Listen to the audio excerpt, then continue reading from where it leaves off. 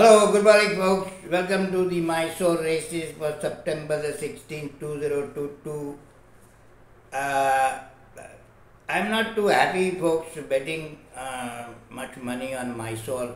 The main reason being is I've just found out that the horses come outer station horses from Bangalore come in the evening in a float, and in the morning they uh, uh, race no uh, no gallop uh, on the track, no workouts on the track. It's very difficult for a horse to adjust to a new environment and just run, you know.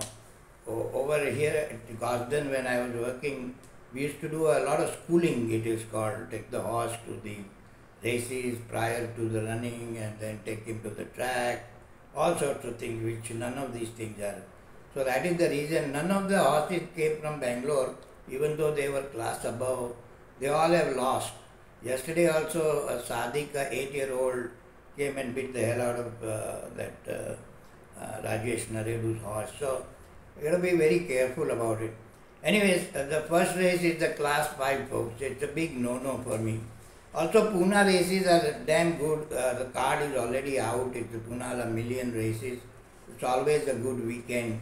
So, might as well save some money and bet on them. First race, as I said, the big no-no for me, except the rumor lady has AK on the top, maybe uh, do something about it. Second race, it's class uh, 4, but the horses are actually uh, class 5B kind of a horses to begin with. Uh, there is a horse called Felicita who had won quite impressively, and there is a country's, uh, uh, not country, country's delight who had run a decent second or third after a break. Those two horses I will uh, uh, look. Now the third race, folks, it's uh, it's class three, as I have been uh, noticing uh, for my own academic uh, study. They always send a fluke.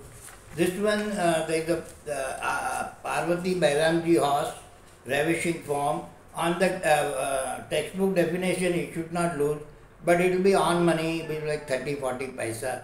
It's a very big no no for me betting Parvati Byramji's horses uh, on money. The reason, main reason being is she works the horses very fast like MK Jadhav does, uh, and the horses mostly lose the race in the track itself.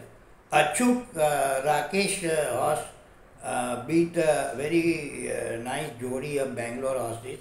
Uh, that will uh, can be placed if the odds are okay.